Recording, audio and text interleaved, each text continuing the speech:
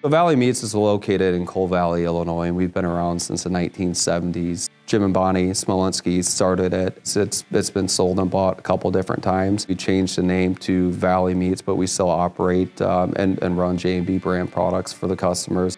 Our number one deal is quality and safety and producing a food safe product. We've got about 100 employees, a lot of long-term employees that have been here 20 plus years. And for me personally, I've grown up in this plant, bounced around and done a lot of different jobs. A lot of the people here are like family to me. They've, they've watched me grow up and I've watched their kids grow up and it's just been a great experience and a great place to work.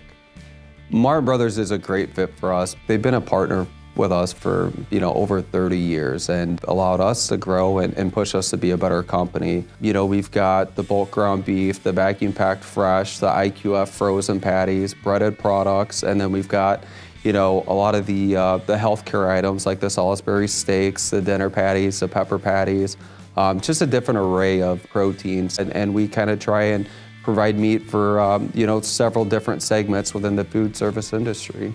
Valley Meats does uh, national and regional chain accounts. Uh, one thing that we, we like to do is identify some of these accounts that their volume justifies a custom formulation or custom pack. Uh, it, it, separates us from, from some of the other companies out there. You know, their minimums are much higher on that, but we like to work with those guys and develop formulas for them, shapes and sizes, packaging options, you know, whatever it is that they look for. It makes us much more nimble. Yeah, and not only are we able to to do some of these plate changes or smaller batch runs.